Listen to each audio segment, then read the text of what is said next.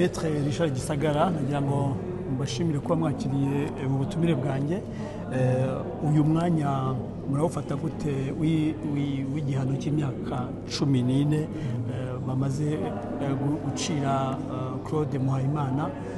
Uri umwe mu bavoka twakoranye igihe kinini muduha amakuru. Uyu munsi rero eh, nyuma y'ibyumweru bine nagira ngo mutubwire uko mwumva mumeze nk'uwaburaniye abarokotse eh, bare- abaregaga eh, iki kintu wabwira abatwumva? Urakoze karerema ni byo koko uru rubanza rugeze ku ndunduro rurangiye urukiko ruhanishije rweme- rwemeje ko Claude Muhayimana yagize uruhare muri jenoside yakorewe abatutsi. Nkaba numva ngewe icyo kintu cya mbere ngumanye muri ngewe ni cyo kintu uva kiri gikomeye kurusha ibindi ni uko urukiko rwemeje yuko yagize uruhare muri jenoside. Ah, igishimishije nanone cyane navuga ni ukubera yuko abantu abakorewe icyaha bavuye mu rwanda bakaza gutanga ubuhamya aha ngaha urukiko rwabumvise. Ku buryo rutabumva ntabwo rwari kuba rugeze rwari kuba rufashe icyemezo nk'icyo rumaze gufata ubu ngubu icyo ni cyo cya mbere numva umuntu yakwishimira. Naho ku bijyanye n'imyaka cumi n'ine ah, y'igifungo urukiko rumaze gufata ni imyaka umuntu yumva idahagije ugereranyije n'uburemere bw'ibyo aregwa akurikiranyweho. Ariko uko byagenda kose icy'ingenzi ku bwanjye nk'uko mbyumva sinzi uko abandi babyumva ku ngiye ku nk'uko mbyumva numva kuri jenoside nta gihano gi- gikomeye ki- kiriho. Kuko uko byagenda kose niyo wamukatira igihano cya burundu jenoside ni indengakamere icyangombwa ni uko ukuri kugaragara bikagaragara ko umuntu bikagaragara ko ari umuntu atagomba kuguma muri sosiyete ko uwo muntu icyo cyasha cy'uko yagize uruhare muri jenoside kikamujyaho.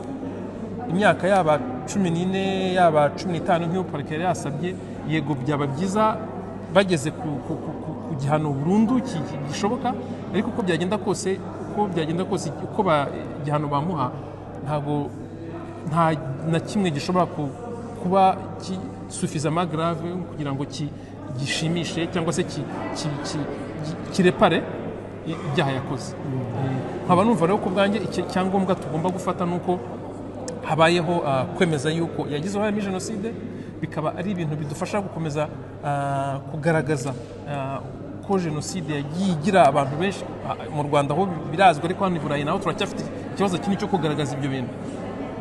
Ubu ni umuntu wa kane ubaye ku ndani hano mu bufaransa. Bigaragaza ko hari abantu bari inzego nyinshi zitandukanye bagiye bagira muri jenoside. Hari wari umusirikare uriya wa mbere simbikangwa hari wari burugumesitiri noneho ubu tubonye umuturage usanzwe nk'uko abamuburanira bavugaga nawe wagize uruhare kandi urwo ruhare rukaba rwari uruhare rukomeye muri jenoside. Ibi rero nkaba numva ngewe icy'ingenzi cy'umuntu yareba cyane atari imyaka akatiwe ahubwo ariko ari amateka yandi yanditswe amateka yanditswe mu rwego rwa- rwa- rwa- rw'amategeko muri jenoside yakorewe abatutsi hano mu bufaransa. Nkaba ngewe ariko nk'uko numva rero iki cyemezo uh, urukiko rumaze gufata ngifashe kiranshimishije ku ruhande rumwe kiranshimishije kubera yuko adahanagaweho icyaha kiranshimishije kubera yuko abantu bamushinje ari abakorewe icyaha baje kubwira urukiko. Urukiko rwabumvise rukabaha ijambo ukuri kwabo kukabyemera ariko ki- kikaba nanone kinteye ingingimira kubera yuko iyo myaka kandi imyaka cumi n'ine ugereranyije na jenoside ntabwo ari imyaka myinshi ariko ndumva atari cyo cy'ingenzi twa- twagumana. Icy'ingenzi ni icyo ngicyo cy'uko icyaha kimuhamye kandi bikaba bigaragaye ko hari andi mateka nanone yanditswe muri ah, mu- mategeko mu bijyanye no guhana jenoside hano mu bufaransa. Maître Gisagara ndabashimiye kandi uh, mbivanye ku mutima uh, ko twabanye muri uru rubanza mukatuba hafi mutubwira amakuru kuko yagendaga urubanza ru- ru- rukura murakoze cyane muruhuke neza imana y'u rwanda ikomeze ibarinde. Umugoroba mwiza. Namwe murakoze kandi kutuba hafi amakuru mukayageza ku bantu mukadufasha.